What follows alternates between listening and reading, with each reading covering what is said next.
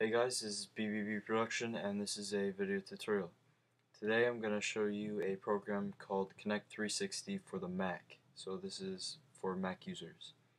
Um, Connect 360 is a program that allows you to view videos, photos, or music through your Xbox to your Mac uh, wire wirelessly or non-wirelessly. Uh, it costs twenty dollars, but if you wanted the program, it is completely worth the get because it's pretty much the only program that will allow you to do this with Mac. The program pretty much allows you also to do the same thing that you would do if you had a PC using Windows Media Player, but this program's easier to use and I guess you would just say more user friendly. Um, so first of all, let's go to the website. Just go to Google and type in Connect 360.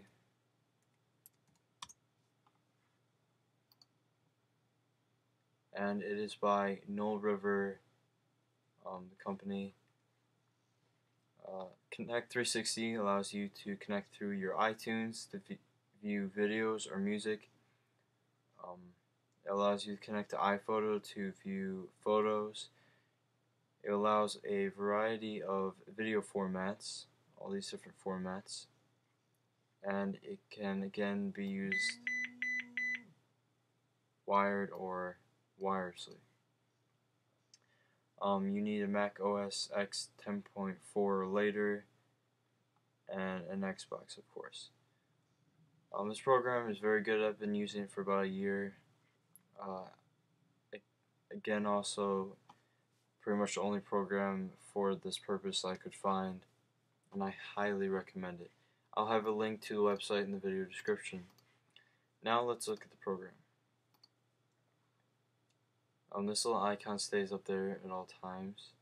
Um, you can always go to settings and uh, uncheck it so it will not be up there but I like it being up there and you can click on iTunes so you can share through iTunes or you can uncheck it also um, so it won't connect to it. Uh, you can do that with iPhoto or your movies folder. Or you can pick what folder you want specifically for Xbox to look in for movies. Um, also, you can have it rescan um, different times. Like if you put a movie in the folder now, in two hours, the Xbox will then be able to see that movie. Um, I guess that you would have it longer because your computer would do less processing. But I have it five minutes because I like um, my Xbox to be updated. Uh, you can also click here and it'll bring you to the website and it'll show you all the different formats again. Um, and every time the Xbox is turned on, this program will also make your Mac make a sound telling you that the Xbox has been turned on.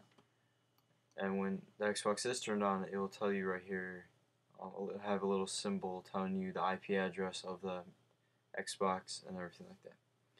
So yeah, this program is very useful and I enjoy it a lot. Thank you for watching. This has been a video tutorial by BBB Production.